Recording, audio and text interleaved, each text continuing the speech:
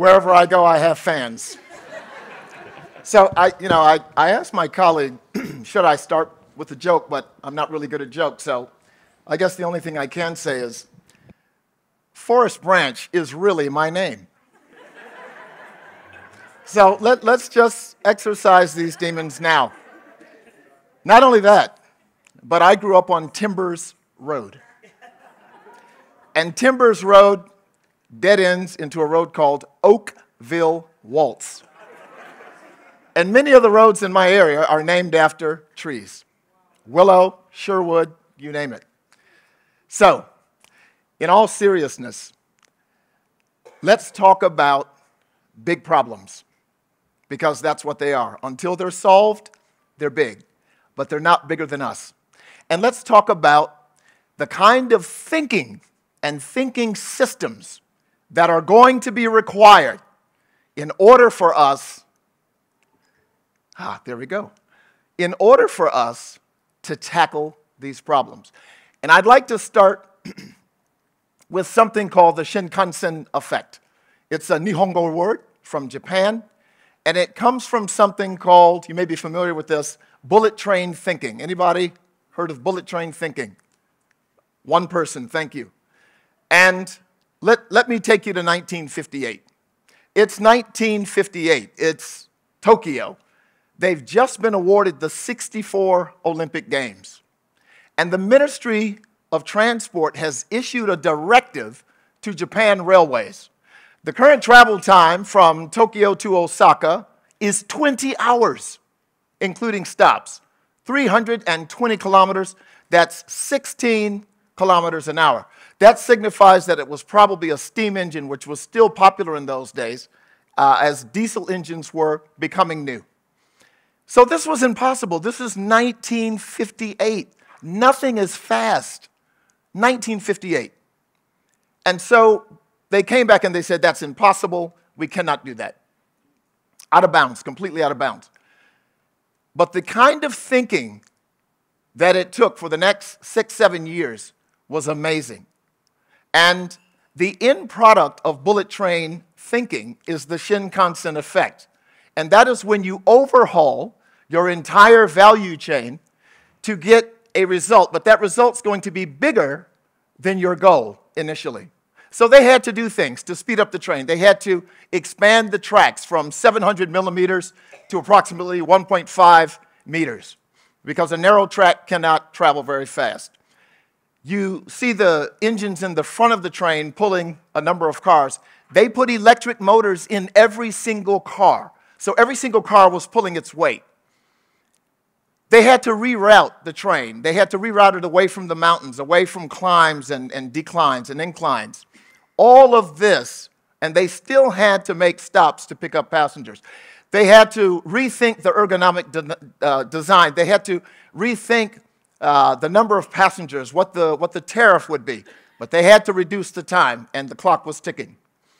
In the end, the Shinkansen effect from that kind of broad, bold thinking, it gave us the TGV train in France and the maglev in China, which travels over 500 kilometers an hour.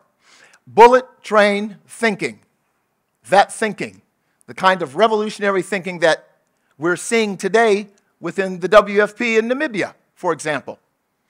But that kind of thinking not only gave them a four hour travel time from Tokyo to Osaka, but beyond Japan, it revolutionized the railway industry globally.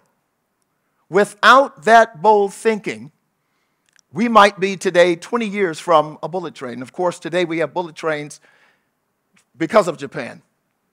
It changed the railway industry globally, but it also changed the way the Japanese saw themselves. And that's very important.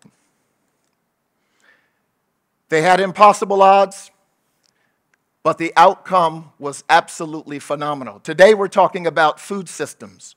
We're talking about agribusiness value chains. That's different than just agriculture. That's the person that's driving the refrigerated truck. That's the barcode. That's the track and trace. That's the processing, that's the type of packaging that you're using. It's, it's delivery to the supermarket, it's the pack house, which is refrigerated. It's all of those components. And so we want to apply bullet train thinking to some of the most difficult challenges of our time. So let's go to the Congo. This is a country that I am learning to love. And my first visit was in 2017. What are the kinds of things that, that we would have to overhaul in a place like the DRC regarding its agribusiness value chain or its food system? But before we go there, a little audience participation. When I say Democratic Republic of Congo, I want you to shout it out. What is the first word that comes to your mind? Let's go. Let's go. Let's go one at a time. Somebody. Somebody said minerals. Rainforest. Good one. Carbon credits. Anyone else? Say again? Gorilla. Mines. War. Anything else? Only, only good things? Potential breadbasket. One more. Congo River. Okay, I don't know if this group has been prepped, but everything was positive. So I'm happy to hear that. Give yourselves a round of applause because everything you said was positive. The DRC is approximately 110 million people. We know that 50% of that population is under the age of 15. That means if you're talking agribusiness, you absolutely have to incorporate youth. Why? I'll tell you later. It has a population that doubles every 20 years. And one of the big challenges is there's a population of 27.5 million that face acute food shortages. That's bigger than Australia. So, what would be the kinds of things that we would have to overall within the agribusiness value chain in order, as this young man said, to transition it into a breadbasket? What are some of the things that we'd have to do? I've got a couple. I, I don't have time to go into all of them. One of the things that I noticed uh, when I was doing some preliminary work for my company, KolAgri, we were doing soil profiling and pH sampling uh, in, in Mutshatsha, about 25 kilometers south of Kolwezi. Um, one of the things is that the students that graduate there from the University of Kolwezi, which is a fine university, don't have practical experience. So, one of the things we need to do across Africa, including the DRC, we need to vocationalize agricultural education. Agriculture, agriculture, what I inherited from my father, who was a farmer, and his father before him, going all the way back to the dark days of U.S. slavery in the United States. But what I learned from him was hands on.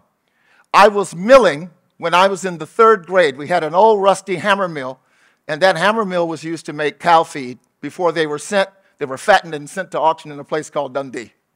So what are some of the things? Vocational education. Got to get the students out of the classroom, and we've got to get them into the tractor seat. Absolutely. We've got to mechanize. Another thing is, we absolutely have to have interior roads. Farmers cannot get their products to market if they do not have sufficient roads.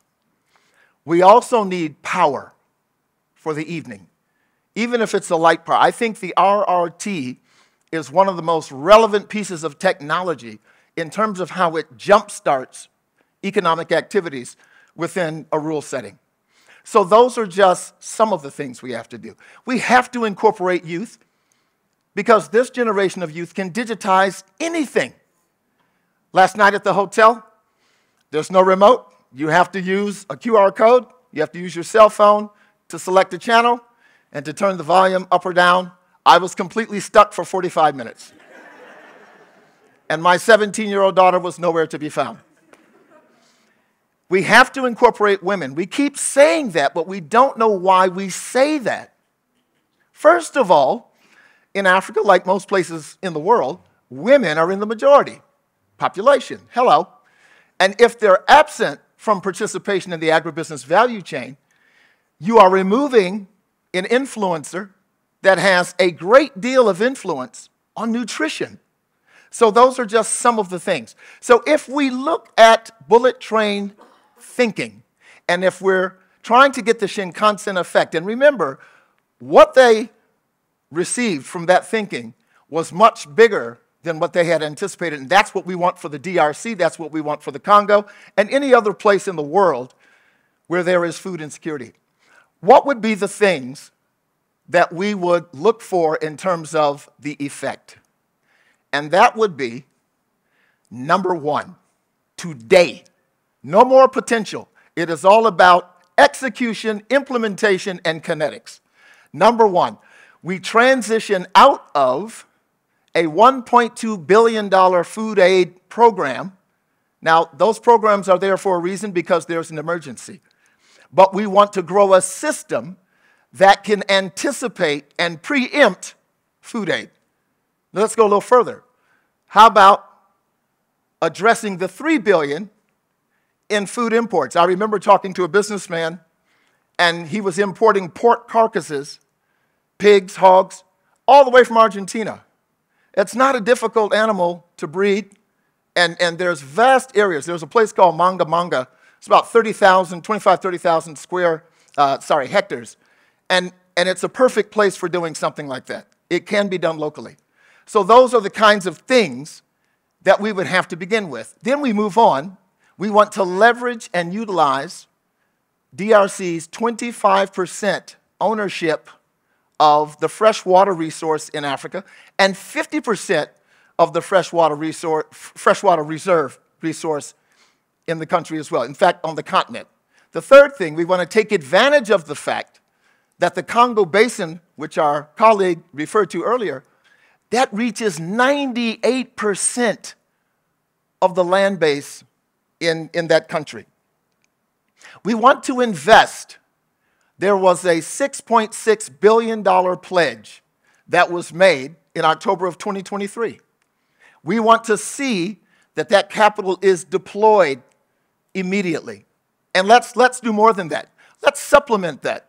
Let's be innovative. Let's, let's use blended financing where we take donor funding, we marry it with traditional forms of capital like debt and equity, and we reduce the overall weighted average cost of capital to the farmer. The last thing the DRC has 80 million hectares, of which 29% are used. Only 29%. We need to roll out an immediate plan even if we're adding 15 to 20% per year until we maximize the areas that we can cultivate. And by the way, you won't be able to do that unless you put some tertiary interior roads in. So that's also a must. Finally, what would the Shinkansen effect be for a nation that has been the underdog, that has suffered negative stereotypes? What would that output be?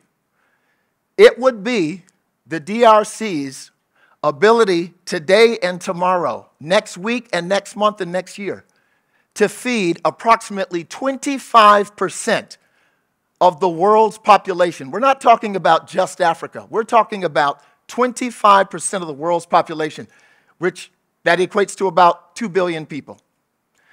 So, my message today to the nation, to the continent, to the people of the DRC there are people in this room, there are people in this panel, in this forum, there are people within the WFP system. We are ready to partner with you. We're ready to learn from you. We're ready to share expertise. We're ready to share best practices and insights and resources to make this happen so that together we can write the next chapter of the DRC's history, and that chapter will be characterized by food system and agribusiness value chain leadership, and better than that, ownership. Thank you for your time. I hope you consider today time well spent. Thank you.